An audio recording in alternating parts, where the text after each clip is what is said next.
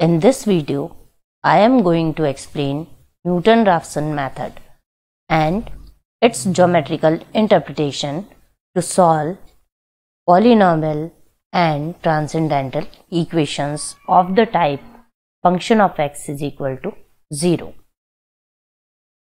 Let x0 be an approximate value of a root of the given equation. Also let x0 plus h is equal to x1 be the exact root of function of x is equal to 0 where h is very small quantity then we can say that function of x0 plus h is equal to 0 actually function of x0 plus H is equal to zero यहाँ पे इसलिए हो जा रहा है क्योंकि ये इसका एक एग्जैक्ट रूट है और एग्जैक्ट रूट पुट करने से फ़ंक्शन ज़ीरो वैल्यू प्रोवाइड करेगा। Expanding function of x zero plus h by Taylor's theorem we have function of x zero plus h is equal to function of x zero plus h into f dash x zero plus h square by factorial two f double dash x zero plus and so on will be equal to 0. Now neglecting h square and higher powers of h.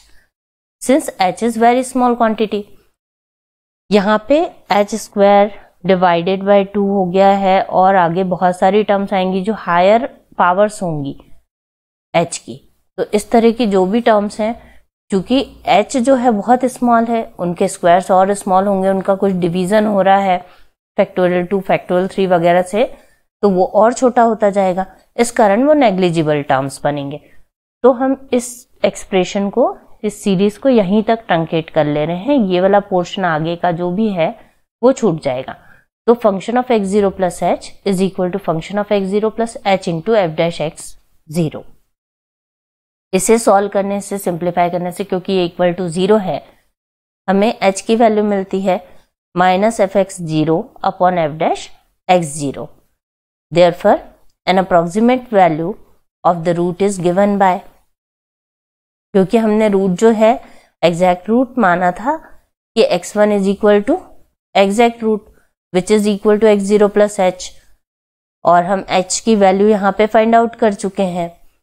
तो x zero minus H की ये value यहाँ से उठा के हम यहाँ रख देंगे।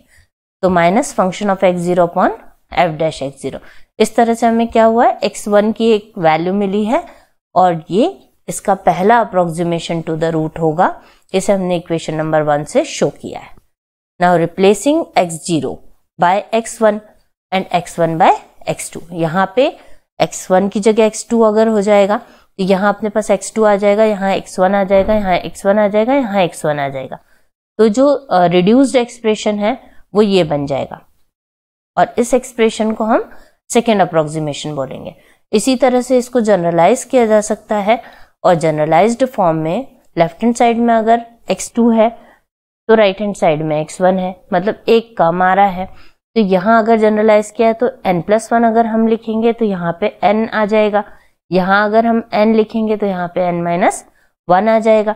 So that in general we can say that x n plus one is equal to x n minus function of x n upon f dash x n जो इक्वेशन थ्री है, यही न्यूटन राफ्सन फॉर्मूला है।